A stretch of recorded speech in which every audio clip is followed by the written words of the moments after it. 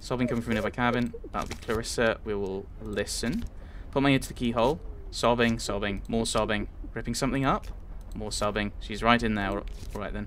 Knock on the door. Are you in there? Go away. Um, the steward could open this door. If I asked him to. You witch! I never want to see you again. I know what you did to him. I know! Have you seen Malcolm? Where is he? You don't know? You really don't know? What what did you see, Clarissa? Please tell me. Go away. Did he did he hurt you? What? No, no, it was you. You hurt him. Go away. Leave me alone, you monster. You harpy. She collapsed into floods of tears again, enough to spoil her bed sheets. Maybe she didn't see anything after all. Let's try knocking again. Clarissa, go away. Uh, meet me on the upper deck. Why? Do it for Malcolm. Trust me. I hate you. Duck out of sight. A few minutes pass by, then Clarissa steps out, hurries up. She's gone. Try the door. It's locked. So we will leave. And we will go and speak to her on the upper deck. Maybe I can convince her that I didn't do it. And also I won't try and kill her. She is. Well, you wanted to talk to me? Out with it. I can see you're upset. You need to get some, some more sleep and try to calm down. Don't patronize me. I saw him fall with Veronica last night. It was horrible. I was in my bunk just writing something. And I looked up and he shot past the porthole in front of me. You're sure it was him? I wasn't sure until I saw your face this morning. I don't know what you're talking about. He wouldn't have done it except for you. You didn't love him. Why didn't you let him go?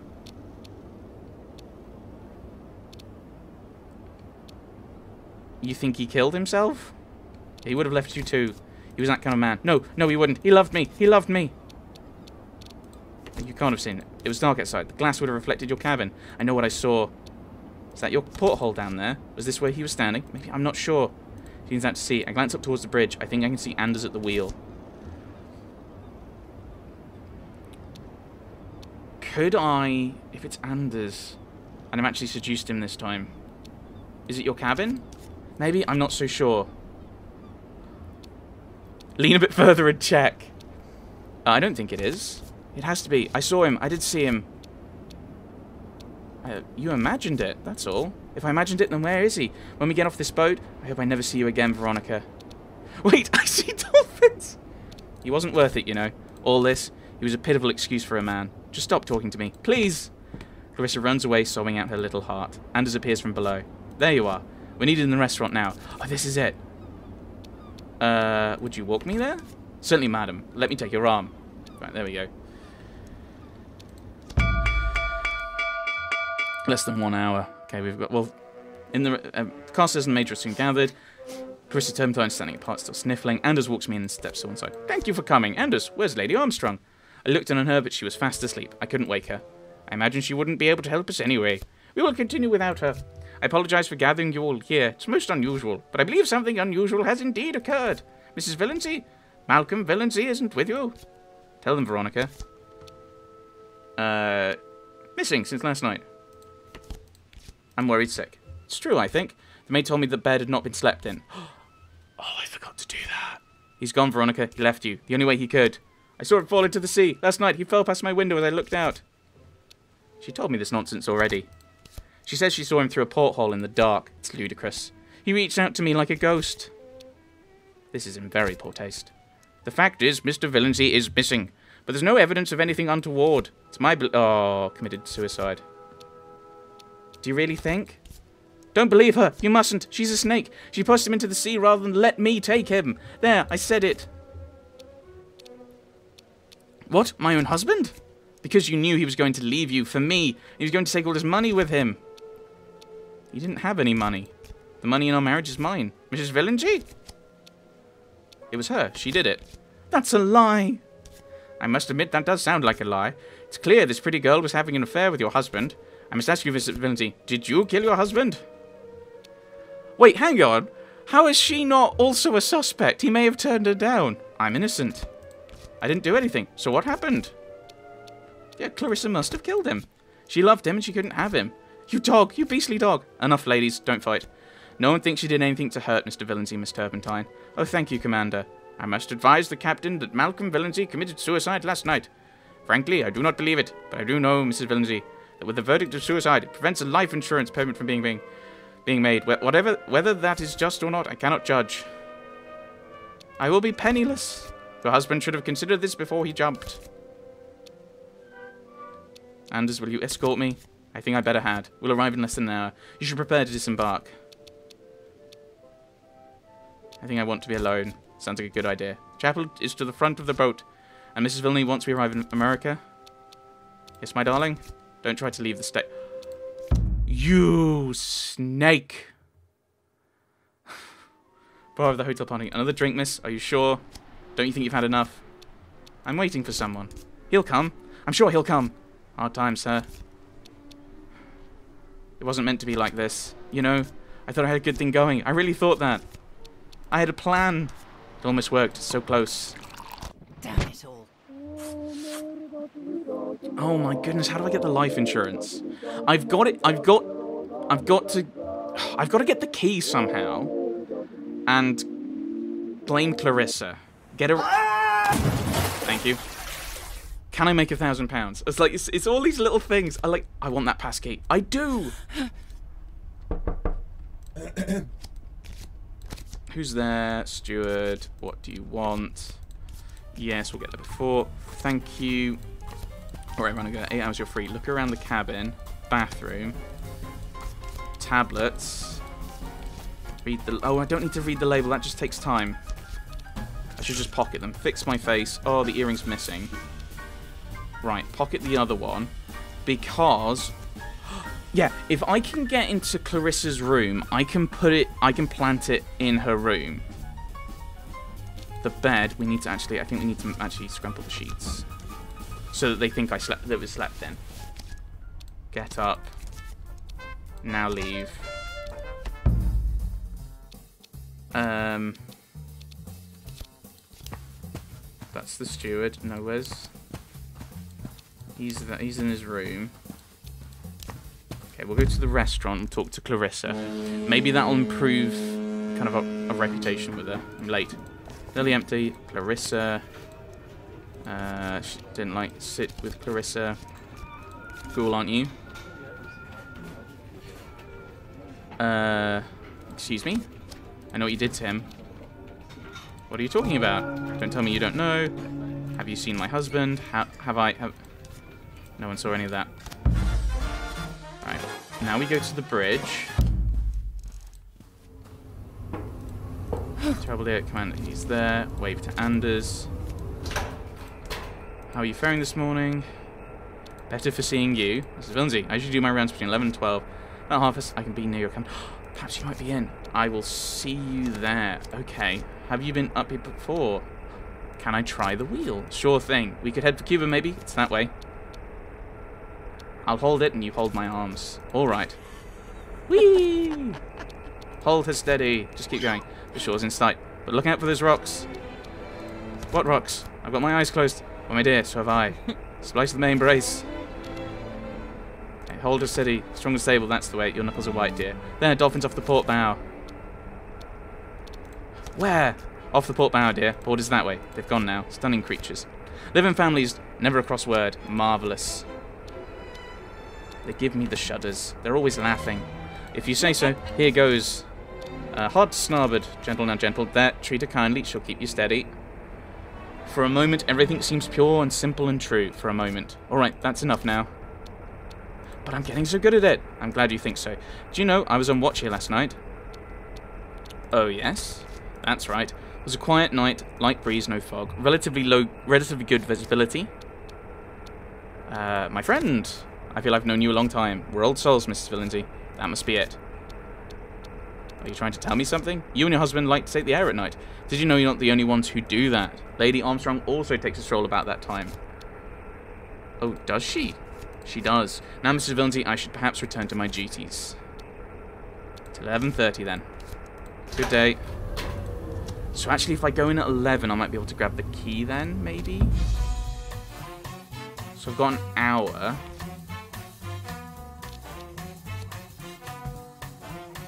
No, I don't want to... I don't know where I want to go is the problem. Right, what do I need to do? Is ship really sinking? Can I get into Clarissa's cabin? Can I make a thousand pounds? I don't think I can make a thousand pounds. Oh, unless you go down here. But he's going to have spotted the the diamond, the earring, which I want to get rid of. Um. Yeah, let's go here. So from 11, I want to be, I want to be heading into his place. It's not here. It's already been spotted. My husband is missing. Husband's terribly unreliable. Have you seen him? I don't have him squirreled away in my cabin, my dear. Toodles! Oh look, up there on the bridge, isn't that the commander? Mr. Anders? You're playing it cool. I do believe he's waving at us. You rather like him, don't you, my dear? Uh, he's very dashing. Oh, indeed. Quite a favourite, but you know, not all that glitters is gold. What does that mean? He's a very charming man.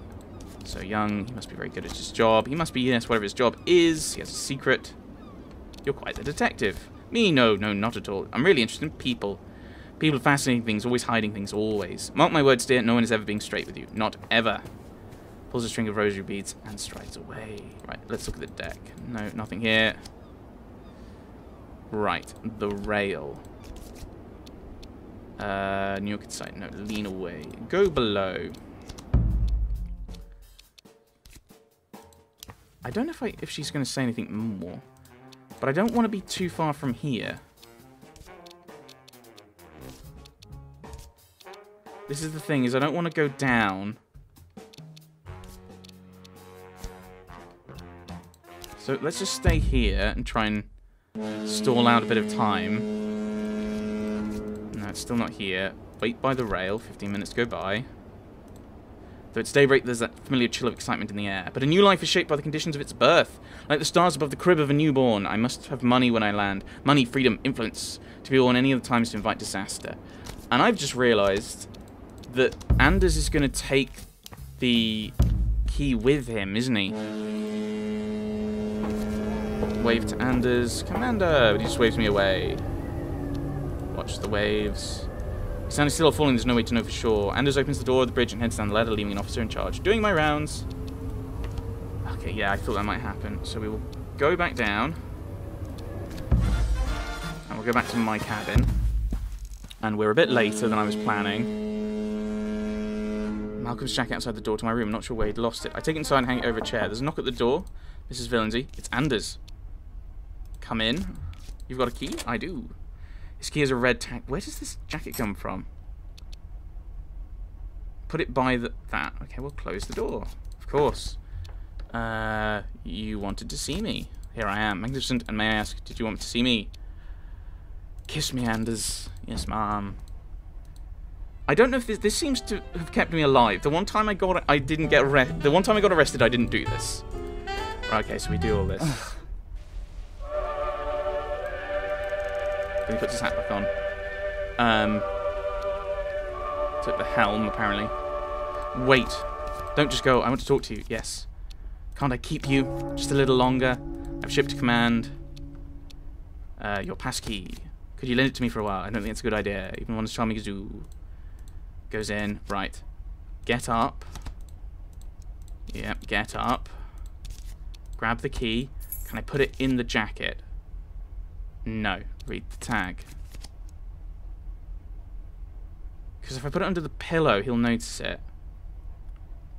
But if I put it on the desk, he'll also spot it. Pillow. Lie back down. Ah, okay. Very tempting, my dear. Looks for his key, frowns. Tickles me until I move. Takes the key. Oh! Trying to be a little longer, were you? Oh. Okay, what can I do? Okay, well, look in the jacket pockets. Cabin key. No wallet. Malcolm usually had that here. No incriminating notes. Take the key. That's that. What's... Is that the key to our room? Still time. Is that to Clarissa? Or is that to our cabin? Because it just said Malcolm's key. So... Uh, Clarissa's door. Listen. Sobbing, sobbing, ripping something up, sobbing. She's in there all right. Knock on the door. Uh, let me in, please. No, Veronica, please. Just go away and never come back. You broke my heart. You, oh my. Are you talking about Malcolm? You never loved him. Not like I did. Yeah, let's not do that. We can't talk like this. Please open the door. I don't want to talk to you. You killed him. You killed him. Let's talk on deck. Not here, not like this. I'll wait for you there. I don't want to talk to you. Please, Clarissa. Enough to spoil her bed sheets. How could she know? How much did she see? Duck out of sight. A few minutes pass by. Chris steps out, hurries up the passageway. She's gone. Try the key. Did that hurt? Did she give you a key, dearest? Wait, she did. I slip inside and close the door behind me. Drop an earring. The desk, handwritten sheets. Look somewhere else. The nightstand. Um, put sleeping pills on the nightstand. Let's tear my name from the label and leave these here. The book. What are you reading?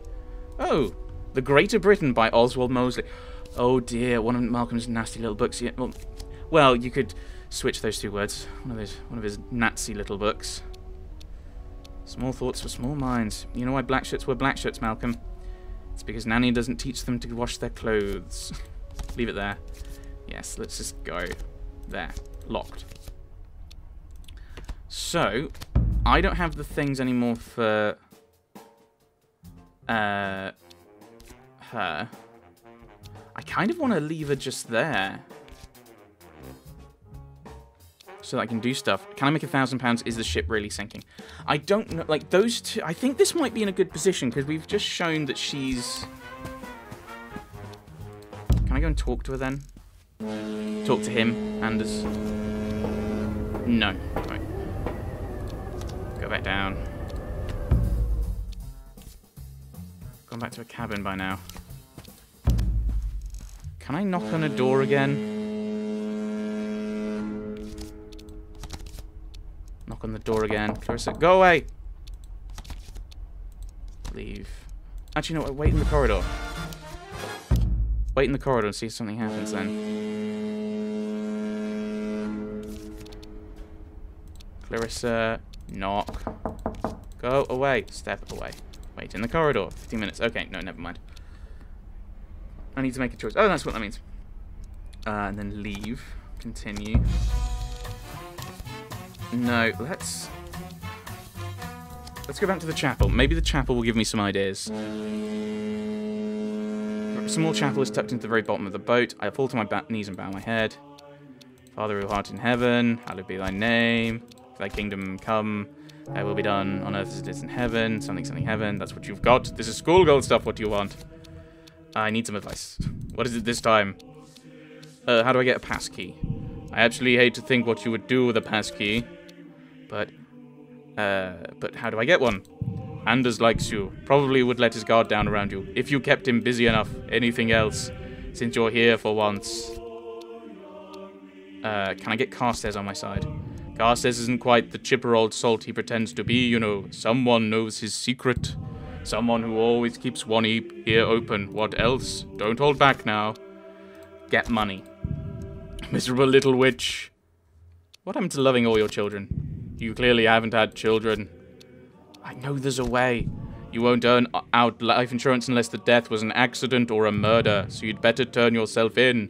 Except they won't pay out to a murderer either. Go take a hike. I'm tired of you. I hurry out of the chapel. Here's around the door. There you are. Needing the restaurant now. Walk me there? Certainly, madam. Let me take your arm. So... Right. The restaurant, Lady H. Carstairs and the Major are soon gathered. Christopher Time standing apart, still sniffing. But we can play it that that's an emotional issue, which he needs her, the pills for.